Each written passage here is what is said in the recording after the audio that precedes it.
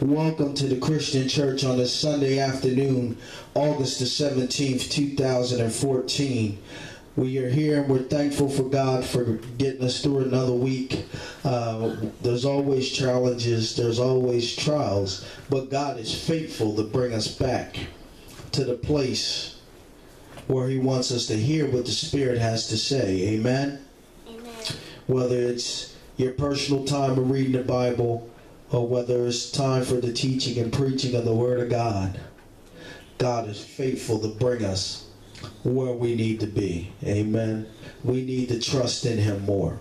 I thank God that He's allowed me the privilege of preaching and teaching the gospel and trying to do it to the best of my abilities to do it in a way that is uncorrupted and unpolitical. You understand what I'm saying? I don't want the gospel to be tainted because my Lord is untainted.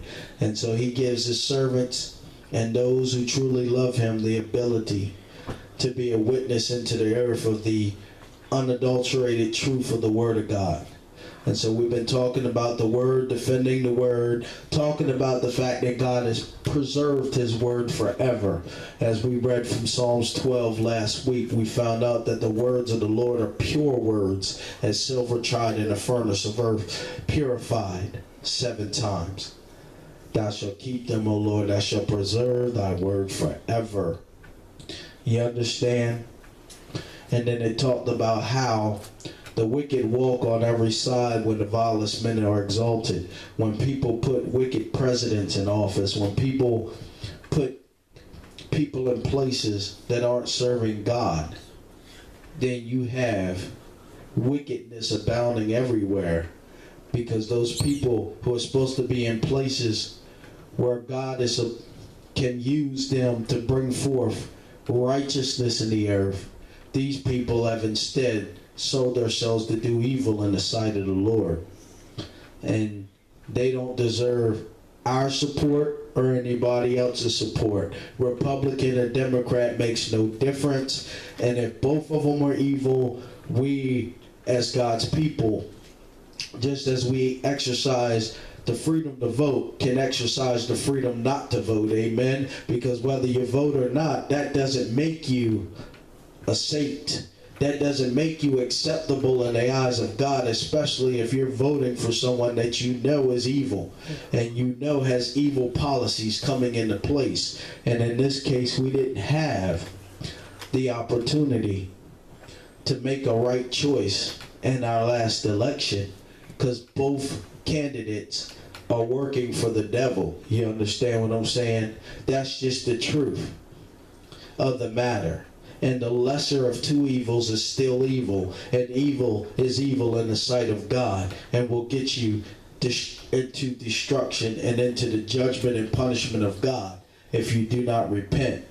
Those that are in office, the word for them is repent before it's too late.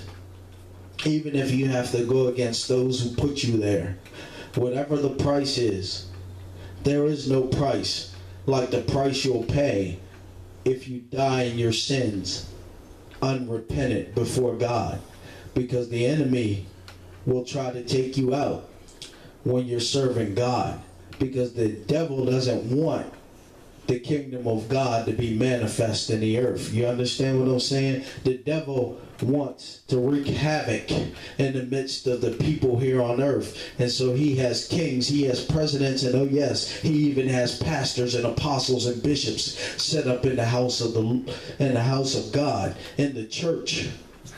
He has set up his wicked people there so that wickedness can abound in the church because people are putting adulterous pastors into office. People are, are allowing apostles and bishops who are not blameless, who are not obeying what the Word of God says they should follow if they want to be a leader, if they want to be an elder or bishop or deacon or whatever they want to be. The Word of God has set forth principles that we must live by. And if we don't live by the principles of God, you are going to be a candidate for the judgment of God because there's more strict judgment coming upon those that are in places of leadership. Amen? That's why, as a father in my home, if I don't become the man that God has created me to be and rule my home well with love by setting an example for my wife and for my children, and she is not inferior to me she is equal to me in the eyes of God. It doesn't matter if we have different responsibilities. I'm not superior to her, and she's not superior to me. We were made for each other. You understand what I'm saying? Husband and wife uh, in a threefold cord, meaning God coming in, is not quickly broken. You understand what I'm saying? When God gets into the midst of a marriage, he can turn it into something that is beautiful and representative of his relationship with the church through Christ. Amen. The Bible says that the head of Christ is God, the head of woman is man, and the head of man is Christ, and the head of Christ is God. That doesn't make man superior to the woman. It means that man has is going to be held more accountable when it comes to the responsibility of guiding the affairs of the home. It doesn't mean that the woman is just subservient to the man. No, it means that the man has a responsibility to love his wife as even as Christ loved the church and gave himself for it. Amen. Even as Christ sanctified us through the washing of the water of the word, so must I preach the word of God to my wife and to my children, that she may be sanctified and that they may be sanctified through the washing of water by the word. When they surrender to Jesus Christ and the Holy Ghost stirs their heart up with truth. And the joy of the Lord comes bubbling out of them, and the manifestation of the power of God is evident in my wife and in my children as well as in me. Amen. That is what proper relationship is. And so many people have butchered the verses of the Word of God because they've used it to support male chauvinism and all kinds of sexism and things. When this scripture was not put here for that purpose. The scriptures are put here to say that the man needs to be in a place spiritually to lead his family. That means he must have a right relationship with God. If he does not, he cannot lead. You understand what I'm saying? A woman that is in right standing with God has more power to lead than a man that has gone astray. You understand what I'm saying? That's why we see situations where there are women that have leadership. Not all women are serving God. Don't get me wrong. There's corrupt women leaders in the church as well as corrupt men leaders. But in the Lord, God says whoever it is that's leading has a responsibility to carry out the truth of the word and their conduct and their character must match that. If it doesn't, they can't lead. You understand what I'm saying? And if the man is in a place spiritually that he should be, then he is in position to lead, both in his home and in the church of the Lord, because it takes strong men. We as men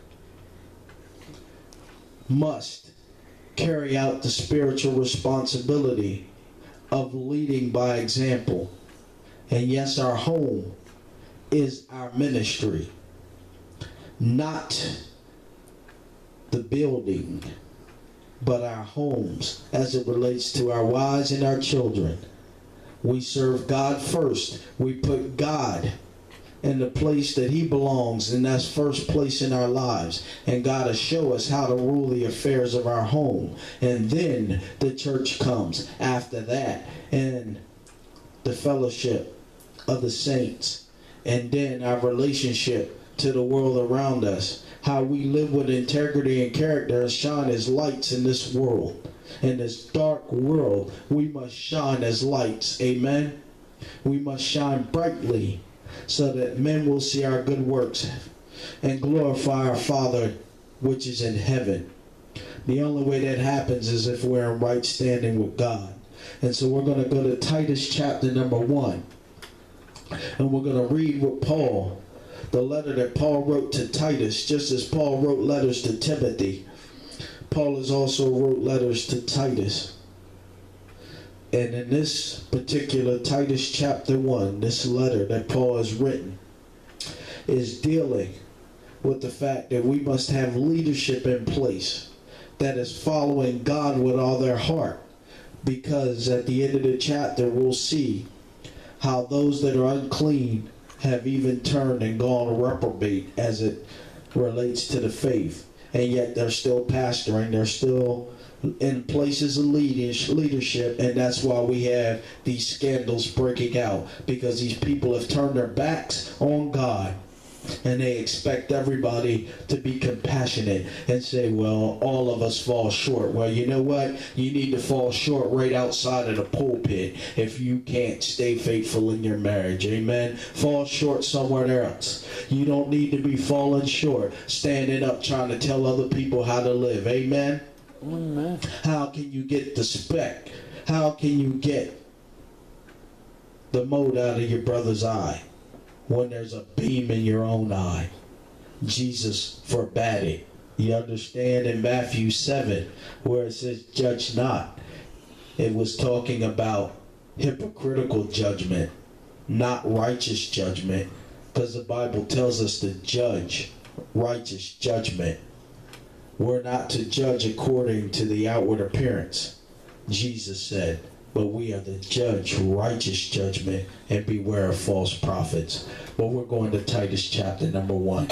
It says, Paul, a servant of God and an apostle of Jesus Christ according to the faith of God's elect, and the acknowledging of the truth which is after godliness, in hope of eternal life, which God that cannot lie promised before the world began,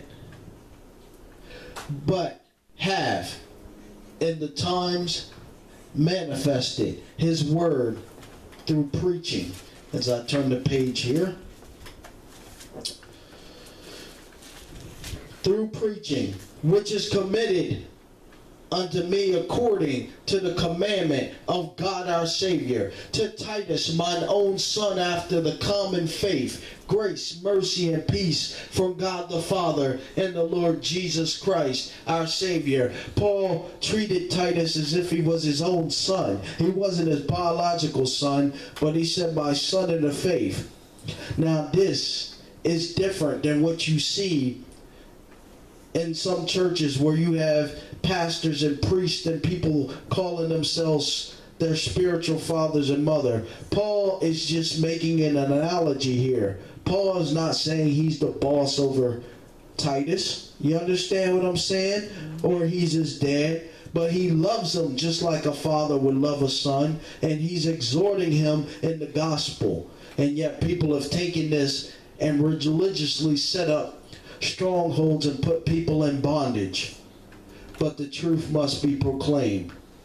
To Titus, mine own son, after the common faith, grace, mercy, and peace from God the Father and the Lord Jesus Christ, our Savior. For this cause left I thee in Crete, that thou shouldest set in order the things that are wanting, and ordain elders in every city as I had appointed thee. So it was the job of Titus to ordain elders in every city that he came across. That Paul had given him the authority to ordain elders. And Paul gets his authority from the Word of God. You understand? So we're going to get into the qualifications. And yes, it's going to use a man here, but only because of the simple fact that God wants men to be in a place spiritually where they can carry this out. And we know that because of whatever circumstances, we live in a time where there are men and women. God is not condemning women simply because they're in a place of leadership, because there's a reason for it, and God knows. But whether you're a man or whether you're a woman, if you call yourself a servant of Christ, there are rules and guidelines that you must come under. And if you're going to lead God's people, you have to have the integrity and character to lead. If you are found wanting or lacking this integrity and character, you are not qualified to lead God's people because you are going to become a stumbling block when people see you fall. You understand? Because people are influenced by other people. That doesn't make it right, but that's the way it is in this world. People like to follow other people. And if you're not careful, you could get yourself into a big jam and a big mess spiritually, emotionally, and even physically and financially following after people, especially if these people are not following Jesus. You understand what I'm saying? Verse 6 If any be blameless, the husband of one wife, having faithful children, not accused of riot or unruly. It's just giving you some qualifications. It doesn't mean that if you don't have children, you can't be an elder or a bishop. That is not the case because Paul did not have any children, yet Paul was called to be an apostle. So we know this isn't saying that every elder must have children. It's not saying every elder must be married. That is not what it is saying. But what it is saying is that every elder must be blameless. You understand? That means that they've committed sins in the past, they have repented of their sins, God has cleansed them, and now they're following Jesus with all their heart. This isn't saying that a person is sinless because all have sinned and come short of the glory of God. Amen. But what it is saying is that your conduct and character as become of a saint, as become of a follower of Jesus Christ, must be found. You must be found walking in integrity. You understand? Before they put you there, there must be some type of a trial and test where people can look at how you're living and seeing that you're following Jesus with all your heart. Wake up. Yeah, you understand what I'm saying? You must be following Christ and you must be living a different life than you used to live, and fruits of repentance must be manifest in your life before you think about leading anyone. Now, as a father and a husband, I'm responsible for my family. I can't push that responsibility off on someone else. And if my wife is able to lead, she is able to lead because I'm setting the example by my leadership so that she can guard the house and the children because we're both walking on one accord based on the principles of the Word of God. So if I'm not here, my wife can bring down, break the order in my home as if I was right there next to her because we're walking in step with God's Word. When Eve abandoned God's word, she fell into sin. And she had just carried out what Adam had told her, what God had told Adam. And then Adam told her. Then we would not have had the problems that we had in the Garden of Eden. You understand what I'm saying?